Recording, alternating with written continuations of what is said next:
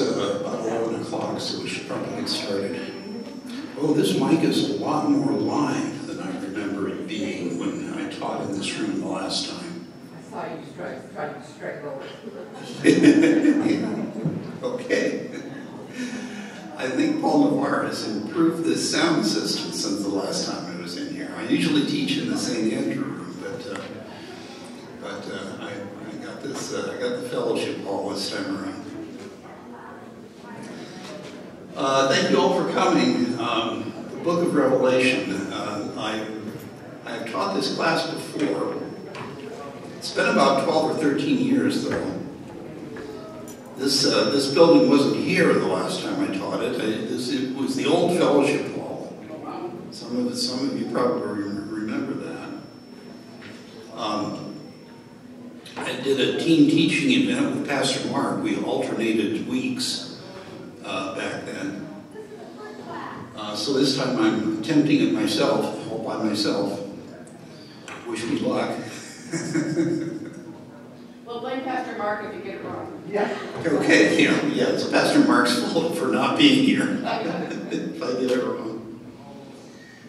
Uh, I have a quote here from Revelation chapter 1 Blessed is one who reads aloud the words of the prophecy, and blessed are those who hear and who keep what is written. Oh, my mic just went out. Yeah. Uh, can you help with that, Chase? I think so.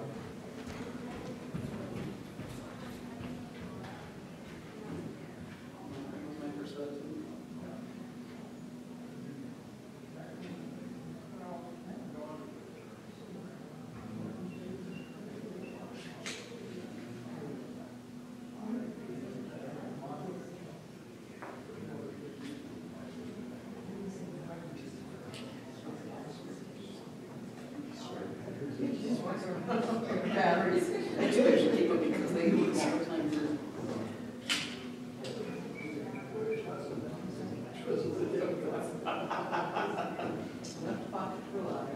Here we go.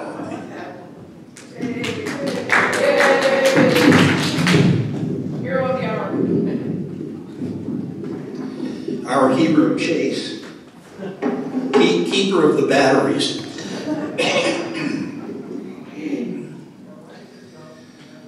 Blessed are those who hear and who keep what is written in it, for the time is near.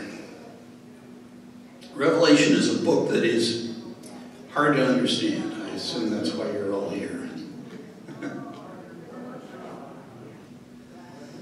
This class goes through, we divide up our uh, adult education calendar into seasons. Fall season into two, fall one and fall two, which is split by Reformation Sunday, which this year is October 29th. I'm putting together fall one and fall two because Revelation is such a long book and very dense. Revelation is 22 chapters long, and the information in it is packed tightly. So this class is going through November 19th, the Sunday before uh, Thanksgiving. We're taking a break on October 29th. That's a special topic Sunday, so uh, we won't be having class on October 29th.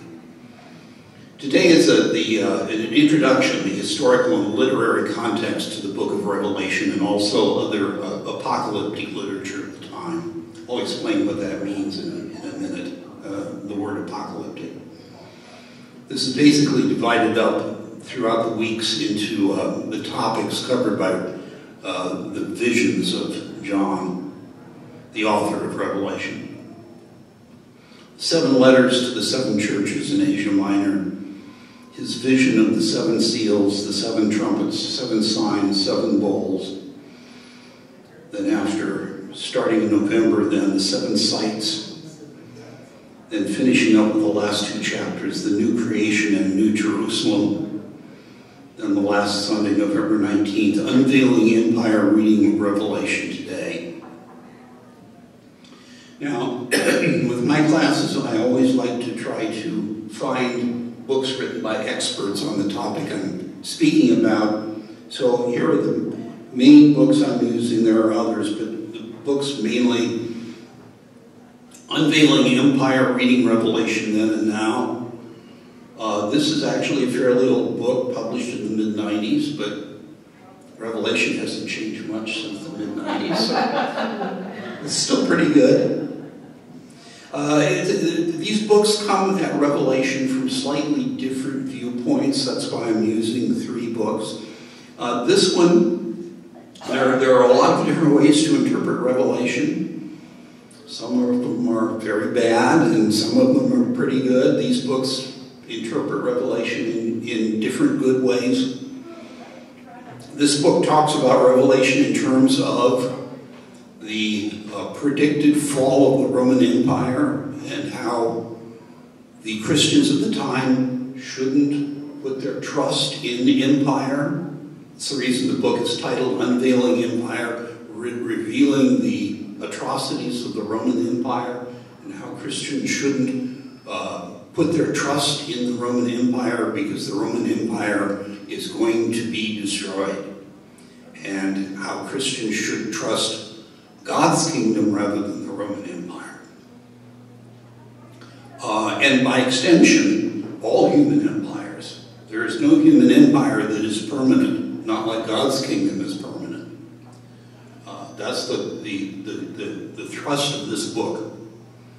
Uh, also, another way of interpreting uh, Revelation, according to this book, is Revelation pulls aside the veil and gives us a glimpse in the battle between good and evil that's going on all the time in, the world. Another book, Revelations, plural, by Elaine Pagels. Uh, she writes about not only the book of Revelation, but other apocalyptic literature of the time. Uh, Dr. Pagels is a professor of religious history at Princeton. Uh, that's her claim to fame and has written uh, many other books um, about religious history, uh, including a book called Beyond Belief uh, about the apocryphal Gospel of Thomas and uh, a book called The Gnostic Gospel. Uh, her uh, point of view, interesting point of view, is that Revelation, while useful to all Christians, was primarily addressed by the author John to Christians with a Jewish background. Pardon me. With a Jewish background, and John's message, according to Dr. Pagels, was yes, you are Christians now. You have accepted Jesus as the Messiah. So you're Christians, but uh, don't start acting like the pagan Romans. Uh, don't, don't think that that gives you permission to act like the pagan Romans because you're going, then you're going to go down like the pagan Romans. And see, look what's going to happen to the pagan Romans. Uh, that's uh, Dr. Pagel's unique uh, perspective on this book. Then a book uh, by uh, Barbara Rossing, Journeys Through Revelation, Apocalyptic Hope, Apocalyptic Hope for Today. And uh, as the title implies, the distinct point of view of uh, Rossing is that, uh, above all, Revelation is a book of hope.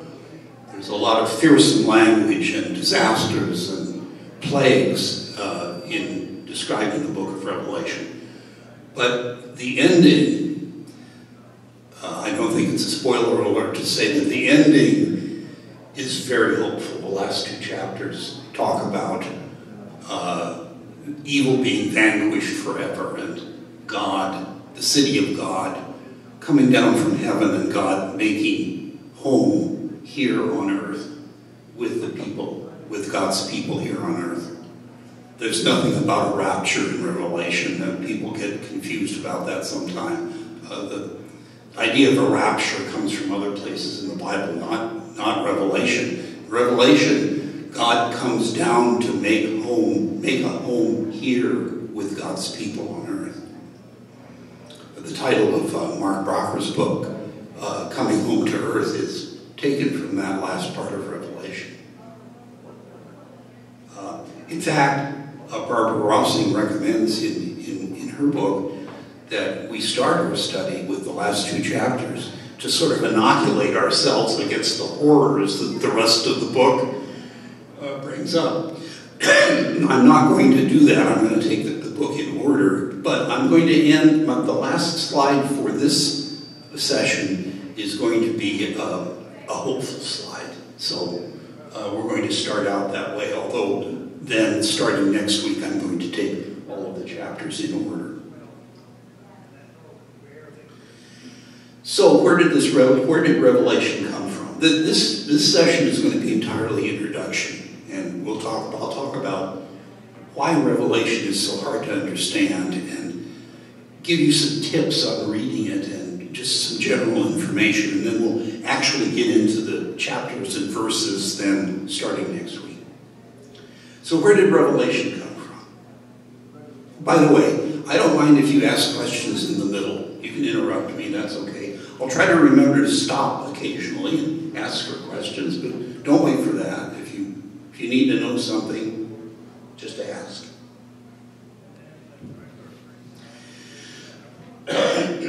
Revelation was written by a man named John on the island of Patmos. I'll put up a map pretty soon here, show you where the island of Patmos is. It is in the Mediterranean Sea near Asia Minor, the area we call the country of Turkey today. Patmos was a penal colony, a Roman penal colony.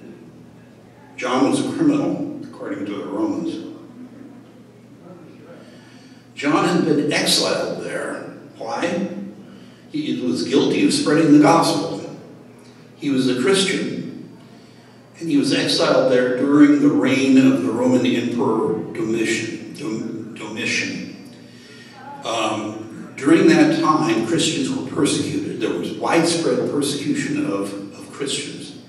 Um, it was more widespread, Christian persecution was, uh, was more widespread than, than during the time of Nero. Uh, Nero was probably more well known for persecuting Christians, but uh, the persecution during Nero's reign uh, was more limited to the area around the city of Rome. Uh, but during Domitian, the reign, the, the persecution was more widespread over the whole Roman Empire. During that time, John was arrested and uh, arrested for preaching Christianity and was exiled by the Romans to the island of Patmos. Now, this John, uh, it's too bad they used just first names at that time because there were so many. John was such a common name at that time. This John is not the same as John the disciple and the gospel author. Also not the same John as the letter writer. You know, there are letters in the New Testament, 1st, 2nd, and 3rd John. That's a different John, but not this John. There are at least three Johns according in, in, in the New Testament, and, and, and this is the, the, the author of Revelation is not the same.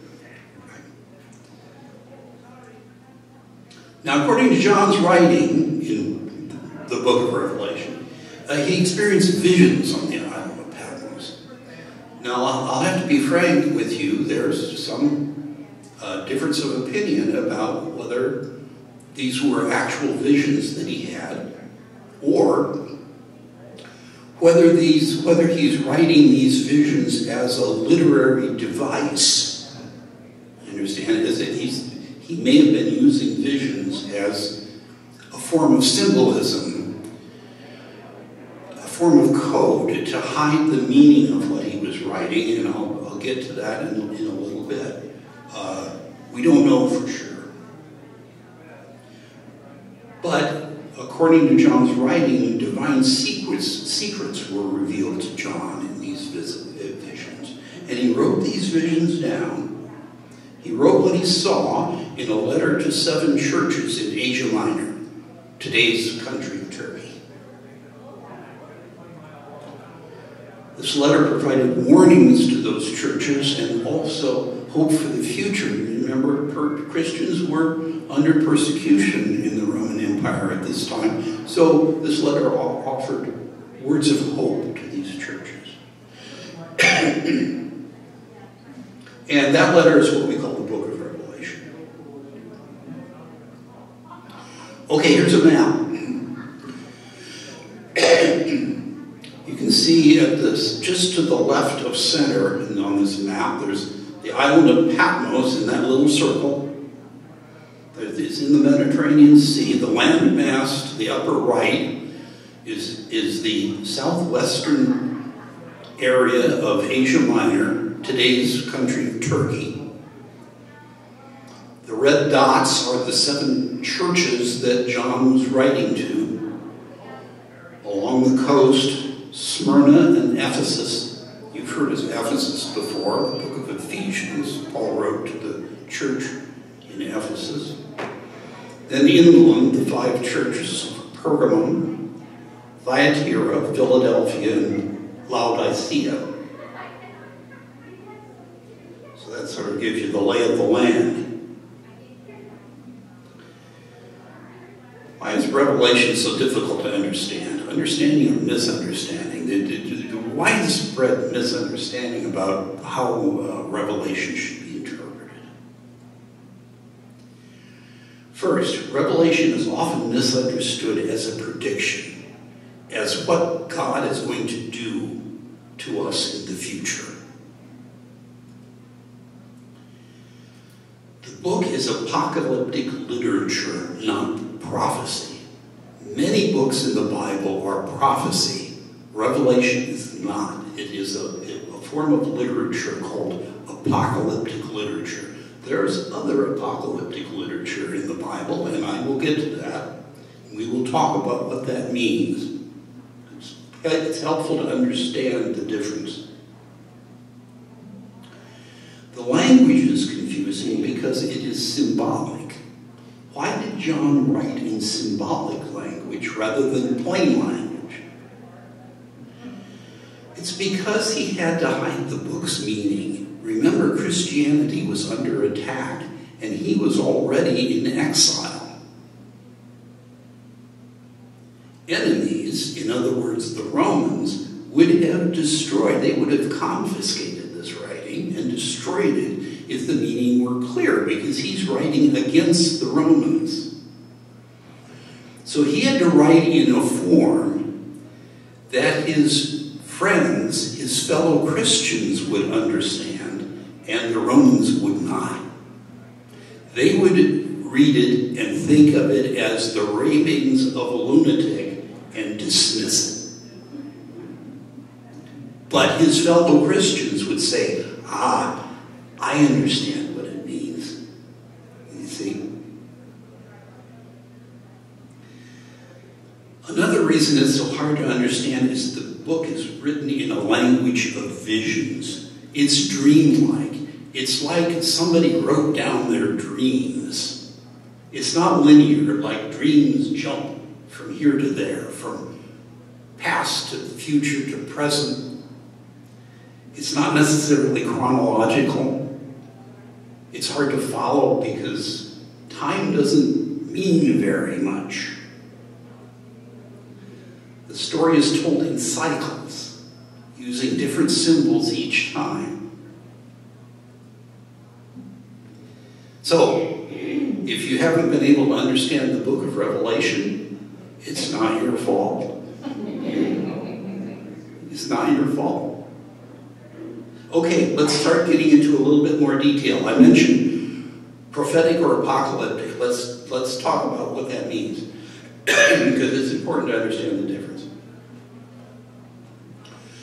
The prophetic appeal, let's talk about prophecy first. What is prophecy? Well, let me give you a, a, a common example here. So, a parent wants, uh, wants uh, their child to do, to finish their homework. Here's the prophetic appeal for finishing homework. If you don't have your homework done by dinner time, there will be no TV for you tonight. But if you have your homework done before dinner, we'll have ice cream for dessert. That's the prophetic appeal. Present behavior determines future events. Think about the Old Testament prophets. If you continue to disobey the Lord, the Lord will allow foreign nations to come and wipe you out and take over this land. But if you repent and return to the Lord and behave the way the Lord wants you to behave, the Lord will reward you and you will live long in the land. You, you, you've read that over and over in the Old Testament prophets, right? The way you behave now will control what happens to you. Your fate is in your hands depending on how you behave. That's it. Now, some prophets were more generous than others. The prophet Amos, for example, was not very optimistic. you know, he's, he, he said, if you, if you start behaving, the Lord may have mercy on you. Other prophets were more optimistic about uh, a change in behavior producing a good result. Uh, the book of Deuteronomy is a whole section there. It's all about a listing of blessings and curses depending on behavior. But that's the prophetic appeal. Present behavior determines future events. it's all about justice in the present world. It's completely different than apocalyptics. I'll get to it again. And I said the Old Testament prophets are full of these messages. Now, no, prophecy is not the same as prediction. Uh, prediction is something like, you will meet a tall, dark, handsome stranger. notice there's no if then in there at all. That's a prediction. Prophecy is more like, if then. Okay? Prophet, prophetic or apocalyptic. Now, apocalyptic appeal. Here's what a, an apocalyptic appeal sounds like. If you don't do your homework and your teacher gives a test tomorrow, what will you do then?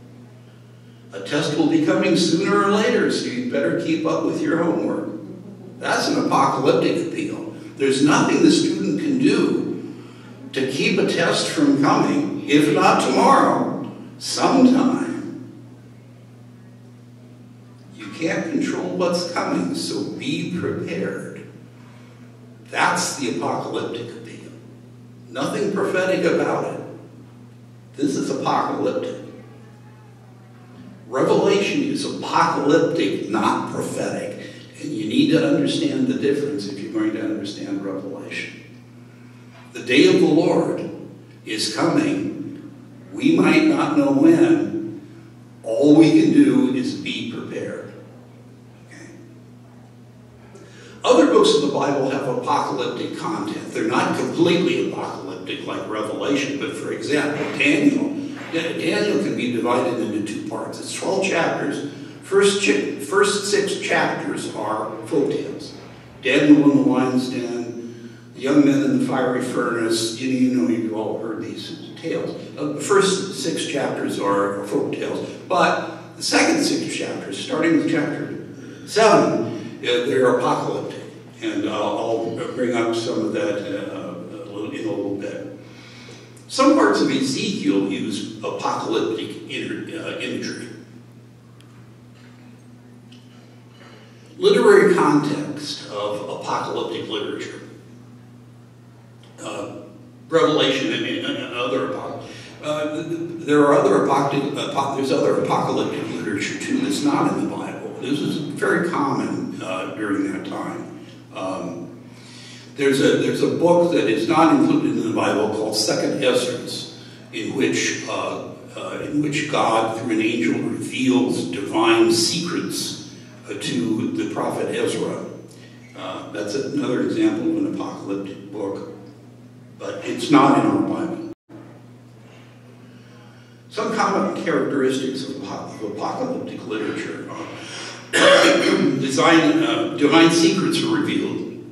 Apocalyptic comes from the Greek word apocalypsis, meaning an unveiling or a revealing. That's where the word revelation comes from. The Greek prefix apo um, means from or away. So it's taking a veil or covering off of something to, to reveal what's underneath. A focus on the end times of the, um, uh, according to most apocalyptic literature, the present world is not worth much. It's focus on the end times. The present world is, is lost. The author often uses a pseudonym, and I'll have to point out that Revelation is an exception. There's no evidence that John is a fake name. Uh, it's probably his real name. So you have to ask the question, well, why, why didn't he use a fake name like, like other, other authors? Uh, Daniel, for example, that, he, the, the, the author of Daniel, whoever it was, borrowed a name from an obscure Old Testament character. Um, the reason is because uh, these uh, books were often written under times of persecution, and you could put your life in danger if you use your real name. Uh, so, so why didn't John use a pseudonym? Well, it was probably because he was already in exile. He'd already been arrested and convicted. He was already in exile. Uh, so he used his own name. Uh, he used symbolic language and confusing writing because what he wanted to protect was not his own skin, but the book itself. He wanted to keep it from being confiscated and destroyed. Another common characteristic is written in symbolic language depictions of strange beasts and monsters, again to hide the true meaning. Uh, events are shifted in time. It's true of both uh, Revelation and Daniel. Uh, Revelation talks about Babylon. Now, the Romans would look at that and think, well, that's ancient Jewish history, right? the Babylonian exile happened six centuries before Revelation was written, but the worst enemies of the Jews prior to the Romans were the Babylonians. They took the Jews into exile in Babylon. So when, uh, when John writes about Babylon, he means Rome. And the Jewish Christians would know that, but the Romans not necessarily. So that's, that's part of the uh, hidden language is talking about Babylon, but he means Rome. Now, Daniel, whoever the author really was, did the same thing, talking about Daniel in Babylon.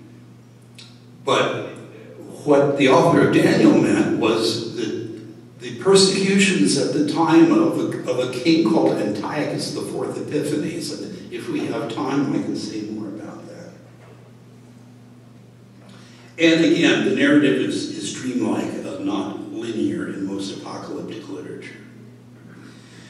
Here's a, a chart that is taken from a, a course of, uh, from a, a company called Crossways International. And this illustrates the spiral nature of the Revelation narrative. If you start at the bottom and think of this as a spiral going up, events are portrayed using symbols like seven seals. And that's one cycle. Then there's another cycle, same events with different symbols, seven trumpets, then seven signs, then seven bowls, then seven sights, and we peak in the last two chapters with a new heaven and a new earth and the new Jerusalem coming down from heaven and God making a home with God's people. And we'll go through all of this in detail. But you can see how this would be hard to understand if you try to read it straight through. Historical context.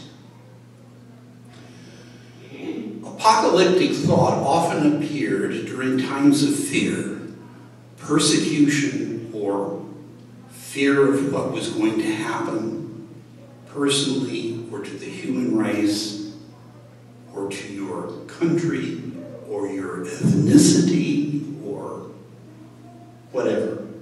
Here are some examples. I mentioned Ezekiel used apocalyptic language. Ezekiel was written during the Babylonian exile. The Babylonians destroyed Jerusalem uh, and it started out with uh, the Babylonians taking away the most important citizens of Jerusalem. They took them away to, to, um, to Babylon. Uh, Ezekiel was, book of Ezekiel wrote his work during this time. And um, the exile changed uh, what's called the Zion theology, that God was a resident of the temple in Jerusalem. Well, when the Babylonians destroyed the temple, imagine what that did to that theology. Was there was God even present anymore? Was God present with the Jews in exile in Babylon? Or was the Babylonian gods, were they were they in control now? Now that the now that the temple, the home of the Jewish God, it was destroyed, right? So they had to rethink their theology. And in fact, it, their theology started to focus much more on the book, on scripture, rather than God in the temple during the Babylonian exile. And much of the what we call the Old Testament, or at least the first part of it, was written during the Babylonian exile because the book became of prime importance during that time. So their, their, their, their, their, their very theology started to, started to change during that time, and, and, and the apocalyptic thinking in Ezekiel uh, came out of that time of turmoil. Daniel, the reign of Antiochus the fourth Epiphany, Epiphanes. Uh, this was a, a, a, another uh, time, reign of terror. Uh, many, many Jews were slaughtered during this time. Uh, th this came out of a of a battle in. Um, let's see, how do I make a long, very long story short here? Uh, the um, after the, after the Babylonian exile, the Babylonian exile ended when King Cyrus of Persia defeated the Babylonians. And Cyrus issued an edict in uh, 538 that uh, allowed the Jews the freedom to leave and return to their homeland and rebuild. Uh, uh, the Jewish uh, nation entered the, what's called the Persian period at that time uh, which was a, a, the Persians were dictators, but it was a relatively benign dictatorship. They were allowed to practice their own religion, rebuild the temple, and so forth. Um, the Persian period ended with the conquering of the region by Alexander the Great. And the, uh, that started what's called the Hellenistic period, and um, that was in uh, 333 BCE. The um, Alexander the Great didn't live long, and he was a fighter, not a lover, because he didn't leave any heirs, heirs and uh, he left no instructions for succession. So his generals started fighting over Alexander's territory. The two generals that were fighting over the, area of Palestine where the Jews lived were uh, Ptolemy, based in Egypt, and Seleucus, based in Syria the land changed back and forth uh, between the, the descendants of Ptolemy and Seleucus until the descendants of Seleucus, known as the Seleucids, uh, uh, uh, gained control. And one of the, these Seleucids was Antiochus IV Epiphanes, who was just flat out insane. Uh, Epiphanes means manifestation in Greek, he was convinced that he was the earthly incarnation of the Greek god Zeus, and he made it his mission to stamp out Judaism. He made the practice of Judaism illegal under penalty of death. Many Jews were slaughtered at a time of intense terror. The only worst time in history to be a Jew would have been during the Holocaust in the 20th century a, a very terrible time. Again, times of terror like this often result in apocalyptic literature, and the second half of the book of Daniel is, is that type of literature. It was written during this time. One of the uh, quotes from Daniel 7 the, uh, Daniel 7 has visions of strange monsters, uh, strange beasts, symbolizing the uh, kings of the Seleucid reign. But then Daniel says Then I saw one like a son, son of man coming with the clouds of heaven. Son of man means human being, but this is a very special human being. Of course, a human being coming from God. You'll remember in the Gospels, Jesus adopts the phrase Son of Man to mean himself. Jesus is the special human being coming from God. Now, uh, another example I have to use, of course, is Revelations. That's what we're supposed to be talking about here. Uh, Revelation was written during the reign of uh, Emperor Domitian in uh, uh 81 through 96 uh, during the Common Era. Uh, another time, of this time, persecution of Christians, not Jews. widespread persecution of Christians. there was some perse persecution of Christians by Nero earlier, but it was more limited to the area around the city of Rome itself. Now, you may have a laugh over this.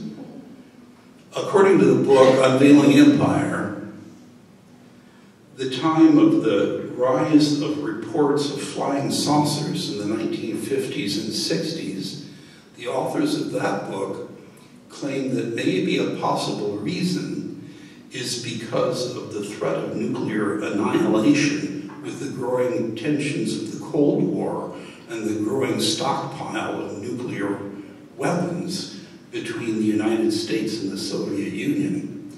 Many people were, were very afraid during this period of time in the 50s and early 60s. People were building fallout shelters in their basements and there was a rise in sightings of what we call UFOs today, but back in those times they were called flying saucers. And many of the reported visitations of aliens from space included reports of, uh, of calls for peace on Earth. And uh, this may have been a subconscious or unconscious reaction to very scary news that was happening uh, to people here on earth, at least according to the authors of the book uh, Unveiling Empire.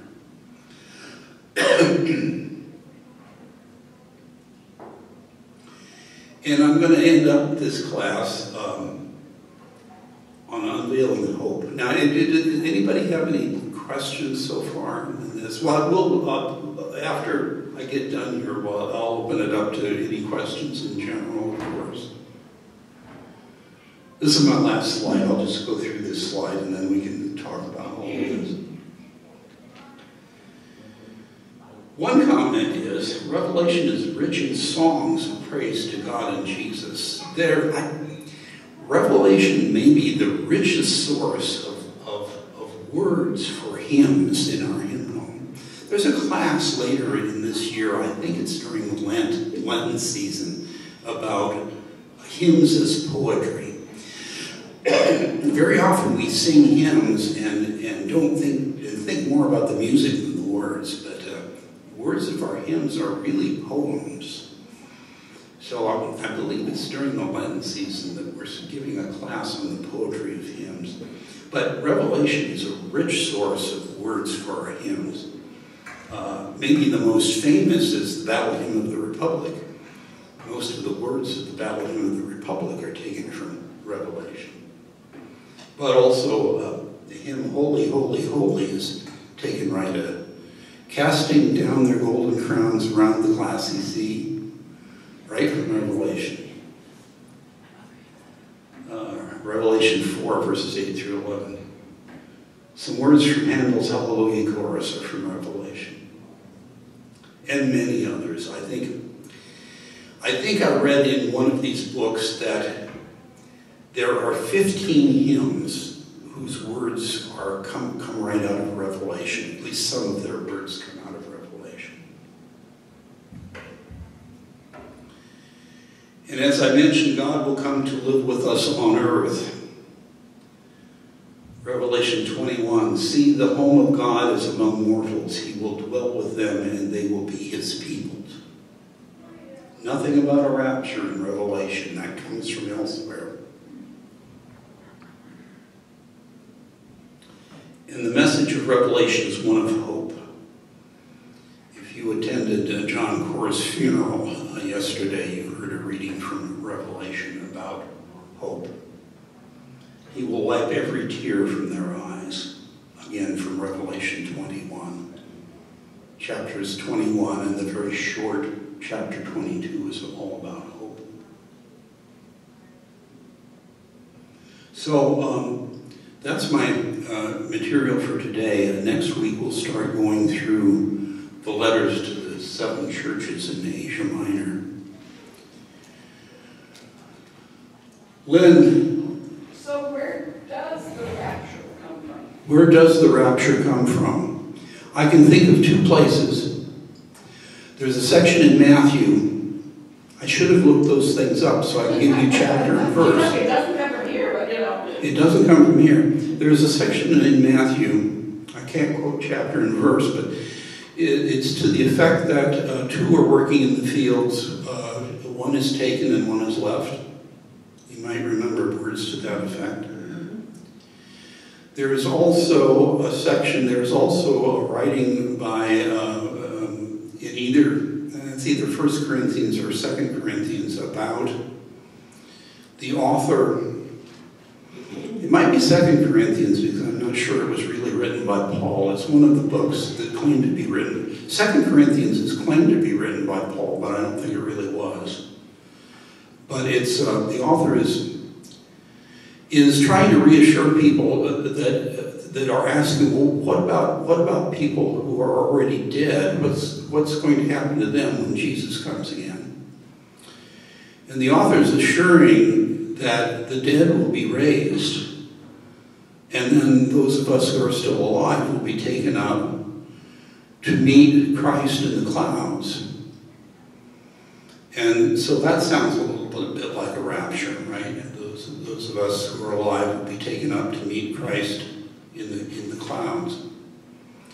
Actually, it's not. I mean, if you, if you look at the Greek for that description, it is, it is more like the description of what happens when a, a king come, approaches a city for to come to a city, and people in the city are looking out from the city walls and watching for the king's procession to come to a city.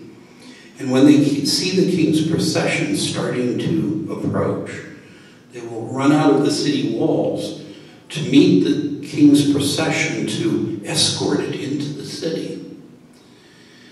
So what, what the words in, in Corinthians are talking about is not a rapture, but a welcoming of our King to earth. Now, I can't easily explain away the passage in Matthew about one is taken and one is left. I, I don't know. I can't. I can't explain away that one as easily. But, but yeah, that's where those those passages are where that idea of a rapture comes from. Anything else? Okay, well, I hope to see you next week. We'll get into those letters, the seven letters, the the uh, the, uh, seven letters. The each church is uh, uh, there's a remark. There are remarks to each church. Well, here's where you're doing good. Here's where you flunk, and, uh, and, and, and here's where you can do better. So, uh, thanks for coming. We'll see you next week.